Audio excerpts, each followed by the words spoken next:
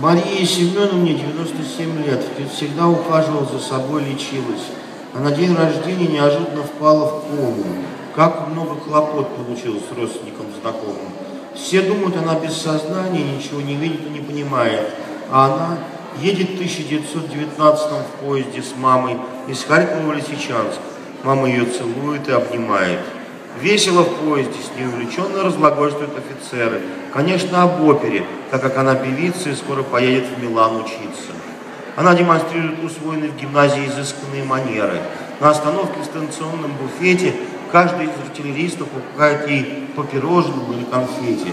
Все смотрят на нее и думают, вот невеста будет. В вагоны заходят люди, становится все интереснее и все меньше места. Вечером вдруг делает вид, что пойдет в туалет. Сама же выходит в тамбур, смотрит в окно. Вдоль путей передвигается цыганский табор. Загорается свет в домах, наступает тьма.